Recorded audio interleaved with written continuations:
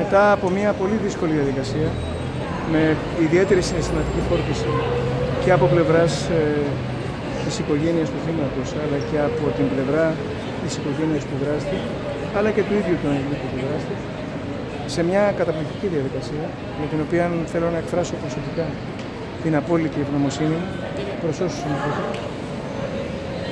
Η απόφαση διόρθωσε πραγματικά κάτι το οποίο πρωτοφανέ έχει συμβεί.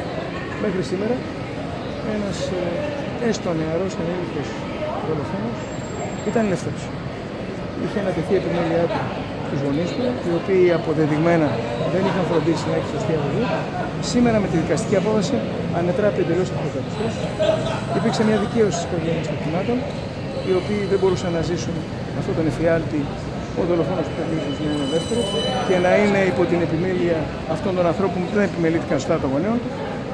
Διέταξε τον εκκλεισμό του για να μονοφορθεί σωστά στο, ε, στο Ίδρυμα Αγωγής Ανηλίκων Βόλου, ώστε να λάβει τη σωστή αγωγή μέχρι την ηλικίωσή του και συγχρόνως του επέβαλε ένα επίσης αναφημορφωτικό μέτρο να τον παρακολουθεί ειδικός παιδοψυχίατρος καθημερινά, ώστε να βελτιωθεί η προσωπικότητά του.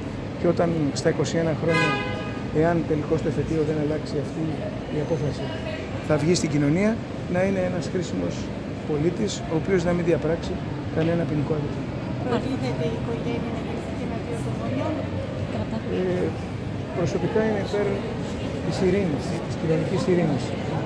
Μπορεί πράγματι οι γονείς του θύματος να έχουν την πεποίθηση ότι οι γονείς του παιδιού δεν φρόντισαν ώστε να μην διαμορφώσει έτσι την προσωπικότητά του, να μην έχει κάνει τέτοιες δυσάρεστες ποιοτικέ αλλαγές και στο τέλος να φτάσει σε αυτό το αποτρόπαιο που Ήταν πρωτοφανές το έφυγε.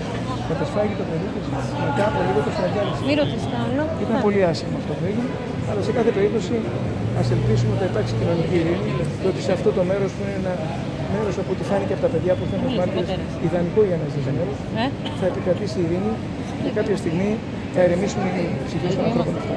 Μπορείτε να αφαιθεί ελεύθερος δηλαδή μετά τα 21 του. Όχι μπορεί να φεθεί. Υποχρεωτικά θα φεθεί. Υποχρεωτικά θα φεθεί.